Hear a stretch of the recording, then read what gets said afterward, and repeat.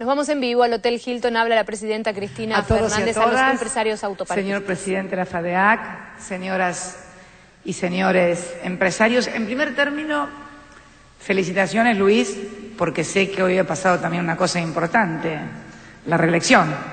La reelección como presidente de la FADEAC, eh, la sexta. Felicitaciones. Felicitaciones también por haber logrado el objetivo que se habían propuesto en la última reunión que tuvimos en la Casa de Gobierno y que era que Argentina, nuestra querida Argentina, fuera sede de este Congreso del Transporte de Carga Internacional. Y bueno, estamos muy orgullosos, muy contentos que un evento de esta importancia eh, en el mundo de la economía y también en el mundo del turismo, obviamente, tenga lugar en nuestro país donde el turismo, ustedes lo saben, está convirtiéndose en uno de los ingresos eh, y conformación de PBI también muy, pero muy importantes. Así que felicitaciones porque es también un aporte del sector del transporte al desarrollo turístico del país, no tengan dudas, y quiero agradecérselo en nombre del sector turístico y de todos los argentinos en definitiva. La otra es que me encantaría quedarme a almorzar, como siempre lo he hecho, pero bueno, los voy a dejar a todos, los que están sentados en la mesa, eh, para que coman, pero yo me tengo que ir a Guyana, tenemos reunión de la UNASUR y bueno, tengo que trasladarme allá. Yo lo escuchaba recién a Luis hablar del crecimiento del país y uno puede percibirlo en todos los sectores, pero uno de los sectores donde más se puede percibir el crecimiento del país ha sido precisamente en este sector, en este segmento de la actividad económica, el transporte de cargas. Desde lo que es en sí la federación, su tamaño, su potencialidad, la cantidad de choferes inscriptos, la cantidad de empresas familiares que han surgido. Y uno, vengo hace unos instantes de eh, inaugurar el 60% del tendido de la línea de alta energía NEA-NOA, de inaugurar el ciclo combinado de Loma de la Lata, más megavatios. El gobernador de Formosa nos decía lo que significa para Formosa, por ejemplo, en generación eléctrica. Hoy la potencialidad que tiene Formosa es de 170 megavatios. Con esta línea de alta tensión pasa a tener potencialidad de consumo de 1.150 megavatios. Imagínense lo que esto significa en términos de poder radicar industrias y actividad económica. Y también comentábamos en la reunión, y esto tiene que ver también con la necesidad de seguir sin lugar a dudas y no, no pongan la más mínima incertidumbre que el plan de infraestructura vial conjuntamente con el de energía va a seguir a fondo con todo. Recordaba también el gobernador de Formosa lo que fue la ruta 81, donde transversalmente eh, cortamos por el medio a Formosa en la famosa ruta de Capricornio, que sigue también con Salta, porque ha habido una transformación profunda en el país y en el modelo de crecimiento y de producción.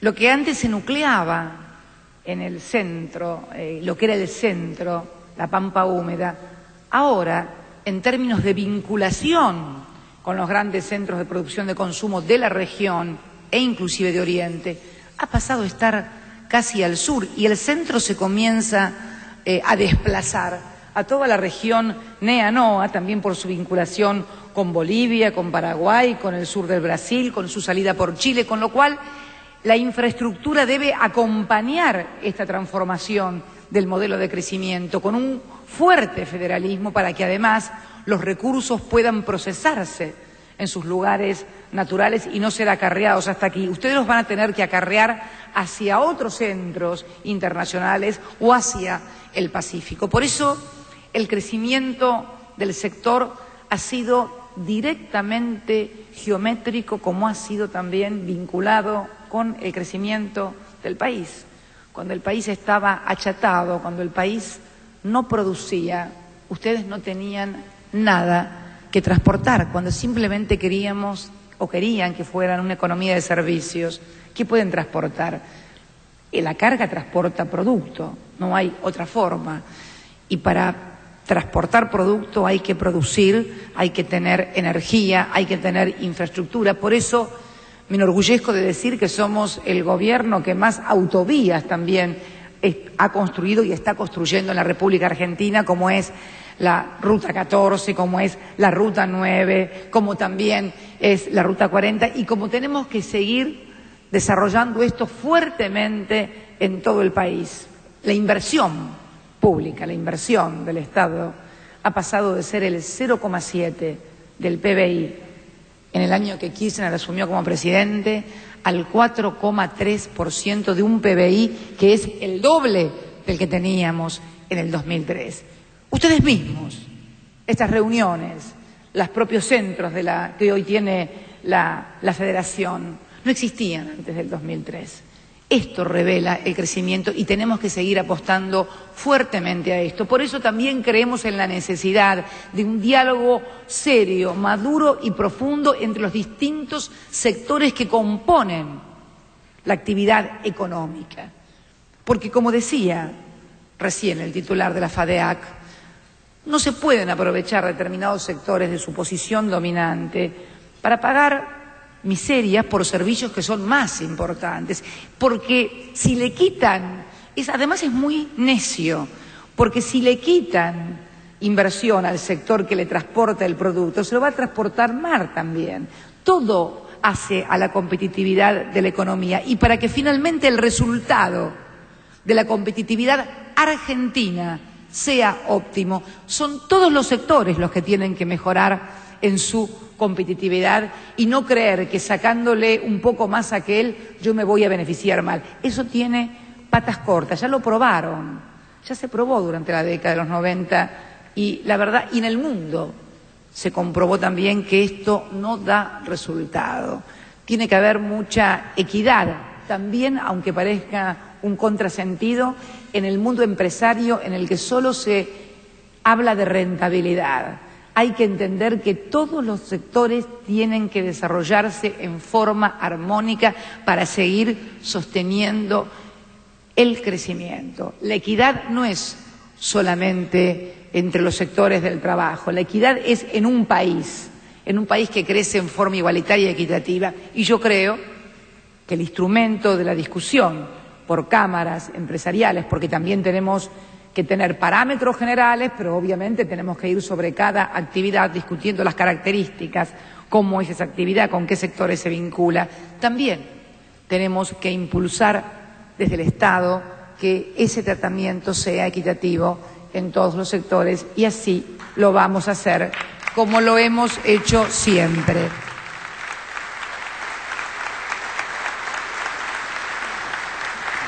Un tema que abordé el año pasado y que todavía sigue y que no afecta solamente al sector del transporte de cargas y que es eh, los famosos, el famoso tema de los seguros, de las ART, que es un tema que vamos a tener que también abordar en este marco de discusión de acuerdo para terminar, entre otras cosas, con la industria del juicio también en la República Argentina.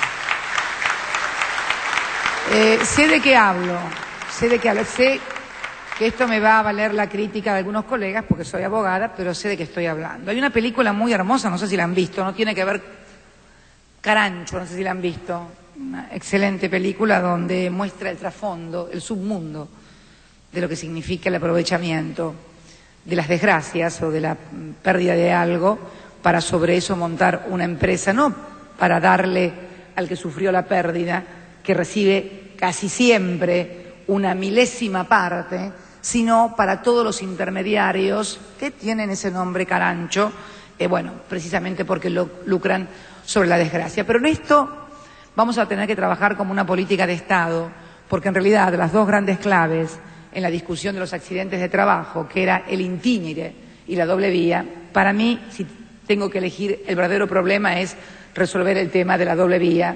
Este es eh, pero para esto, y también ver si podemos incorporar en definitiva, si no se bien en los sectores, la figura de las mutuas también, porque si no, en definitiva, estamos trabajando para otros, ¿no? Eh, que tampoco eh, ayudan a que solucionar los problemas. Pero vamos a tener que trabajar con otros poderes del Estado, porque como todos ustedes saben, en realidad esto no fue ni un problema del Poder Ejecutivo, ni un problema del Poder Legislativo tampoco, sino que la justicia, sobre la cual obviamente es la palabra última y definitiva, declaró la inconstitucionalidad. Yo creo que allí habrá que tener una política de Estado en el tema de competitividad de la economía que resguarde el derecho de los trabajadores a tener la justa indemnización. Pero estoy hablando, y que se escuche bien, de los trabajadores, no de los estudios jurídicos, que es otra historia esa. Y creo que hay que puntualizar porque, porque en definitiva nadie quiere, y mucho menos, y mucho menos quien les habla que se vea afectado o vulnerado el derecho de los trabajadores a tener una justa indemnización. Pero yo quiero que el dinero llegue a los trabajadores y que además el empresario tenga la certeza de que cuando se produce un accidente, cuánto le va a costar ese accidente. Discúlpenme la crudeza del término porque estamos hablando de vidas humanas, de discapacidades, pero tenemos también que ser sinceros. El trabajador debe recibir lo justo y también el empresario saber cuánto puede costarle esa sinistralidad. Y en ese sentido vamos a tener que también, y lo estábamos hablando con el ministro de Planificación recién cuando hablaba Luis, eh, incorporar eh, en la discusión al Ministerio de Economía, en la Superintendencia de Seguros, para trabajar fuertemente sobre este tema. Eh, el tema de, el tema de la infraestructura, les vuelvo a reiterar, vamos a seguir trabajando muy fuertemente en todo esto. Las perspectivas luego de la sequía del 2009 son más que buenas. Eh, vamos a tener una gran producción. Hace unos días autoricé inclusive aumentos de cupos. En los próximos días vamos a volver eh, a autorizar nuevos aumentos porque realmente viene muy bien eh, la cosecha. Y yo quiero decirles que también lo importante de todo esto es eh, lograr sostener las variables macroeconómicas del modelo en un mundo que no hace falta que se los cuente, está bastante complicado. Si uno mira los países en desarrollo eh, con amenazas de defaults, eh, nosotros ayer anunciamos también un plus para nuestra clase pasiva que va a inyectar al mercado más de dos mil millones de pesos, hemos hecho del sostenimiento de la demanda agregada, que también a ustedes los beneficia en forma directa, porque es consumo y cuando hay consumo tienen que transportar. Todo confluye entonces para que cada sector y fundamentalmente las políticas también activas del Gobierno pongamos todo lo que hay que poner para seguir con este crecimiento que ya llevamos en los últimos 12 meses, un 9% de crecimiento y también con un fuerte descenso de la desocupación.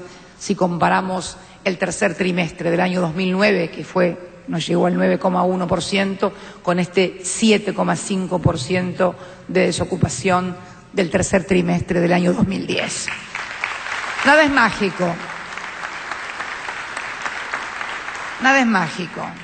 Se debe a la fuerte inversión contracíclica que pusimos el año pasado, ayudando a muchísimas empresas. Yo sé que Luis me va a decir ahí a mí lo que me dice este, Hugo Moyano. Fuimos el único sector que no pidió repros, y es cierto, fue el único sector que no acudió al sistema de los repros, que es la ayuda del Ministerio de Trabajo para complementar salarios, que sí se hizo en otras actividades donde realmente fuimos, eh, tuvimos momentos muy, pero muy críticos con amenazas de despido y de vinculación. Y ustedes saben que el gran objetivo que nosotros nos planteamos en ese año de la crisis fue mantener el vínculo laboral. Y no nos equivocamos. Nosotros teníamos que mantenerle el salario a los trabajadores. Mantener el salario a los trabajadores es mantener además el nivel de consumo. Ayer, declarando el vino, que veo ahí en muchas copas, bebida nacional, siendo el quinto país productor de vino del mundo, somos el noveno exportador, porque el 77% se consume en mercado interno y el resto se exporta. Con lo cual, estamos viendo que precisamente la solidez, estoy hablando únicamente en ese sector, ¿no? Yo sé que otro sector de granos somos con un gran saldo exportable, pero eh, para que ustedes vean la importancia de seguir sosteniendo un fuerte mercado interno que se fue desarrollando en base también a lograr mejoras salariales para los trabajadores. Llegamos el año pasado a firmar 1.331 convenios colectivos de trabajo. Y yo creo que precisamente el entender cómo funciona o cómo debe funcionar una sociedad con cohesión, una sociedad en la cual todos los sectores sigan creciendo, que todos puedan participar de la mejor calidad de vida. Alguien decía el otro día que puede un país tener un gran PBI, un gran Producto Bruto Interno, pero si no da condiciones de vida para que todos los ciudadanos puedan acceder a educación, a la salud, a un trabajo digno, a la idea del progreso, a la idea de vivir, de que uno va a vivir mejor si sigue trabajando el día de mañana y poder darle mejor vida a sus hijos, bueno, se hace muy difícil mantener la cohesión en una sociedad si esto no sucede. Y yo creo que el gran mérito, entre otros, que hemos tenido del año 2003, además de los defectos que seguramente siempre se encargan de puntualizarlo eh, los demás, para que vamos a hablar, hay bastantes eh, dispuestos a hablar de eso, así que vamos a hablar nosotros de los que consideramos un mérito, ha sido precisamente construir mucha confianza en nosotros mismos y la convicción de que ningún argentino va a vivir mejor a costa de que otro argentino viva peor. Esto lo tenemos que internalizar profundamente. Pensar que vamos a vivir mejor porque el otro va a vivir peor es no entender cómo funciona el mundo, la economía y la sociedad. Y la verdad que eh, cuando uno participa en las reuniones que como eh, miembro argentina del G20 nos toca participar, yo digo y pienso muchas veces, ¿no?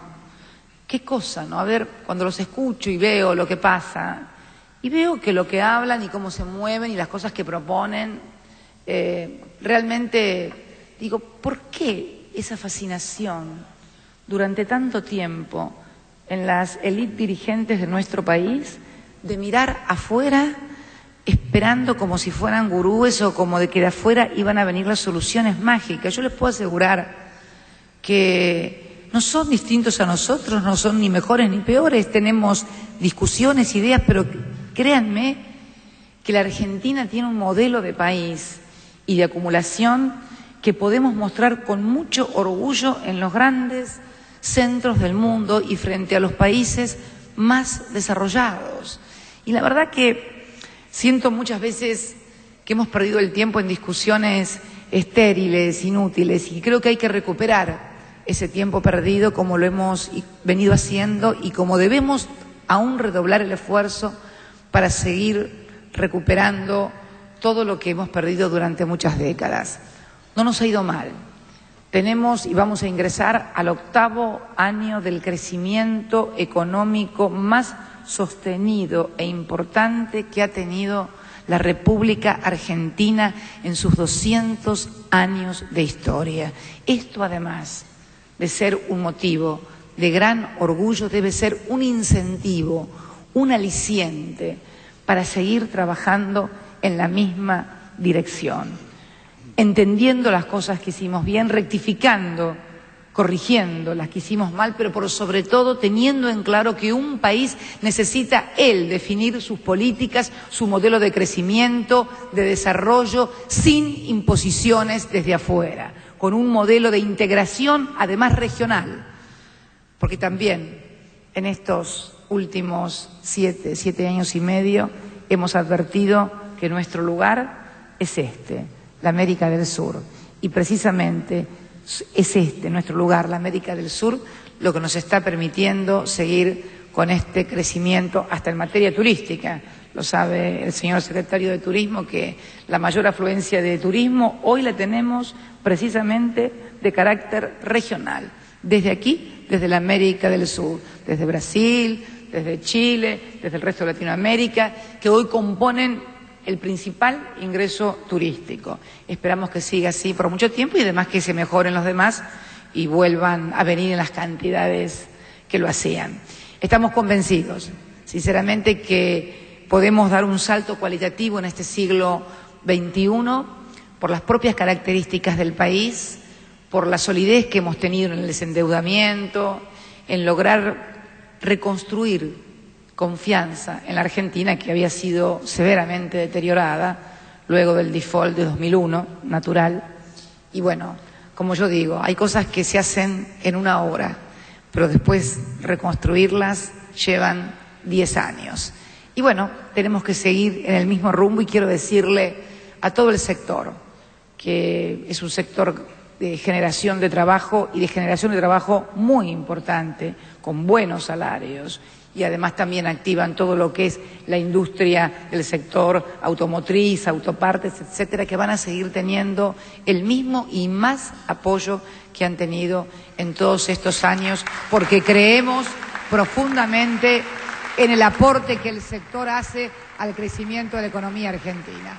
Agradecerles y bueno, y decirles que tenemos que preparar un congreso porque tenemos que lucirnos, este Morales, ya que Fuimos allá con la propuesta, en abril tenemos que deslumbrar y además tenemos que aprovechar para que quienes vengan recorran todo el país este, ofreciendo destinos turísticos y estoy convencida de que el señor ministro de Turismo, Meyer, conjuntamente con los gobernadores de provincias y demás, vamos a ofrecerles para hacerlos quedar muy bien y al próximo Congreso que vayan, que los aplaudan por el congreso que hicieron en la Argentina en abril del año próximo. Muchas gracias y felicitaciones a todos. Muchísimas gracias.